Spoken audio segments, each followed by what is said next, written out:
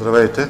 В това видео ще се запознаем с това как можем да получим интернет свързаност през мобилен телефон при GFX 750 с Precision IQ.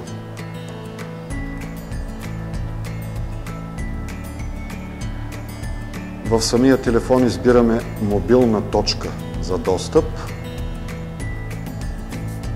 След като я активираме, плъзгаме от горния десен ъгъл Android настройките на GFX 750 и включваме Wi-Fi.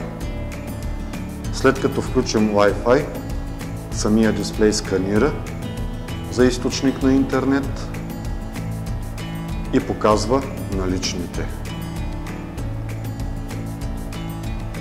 Ето Android, който пуснахме през телефона.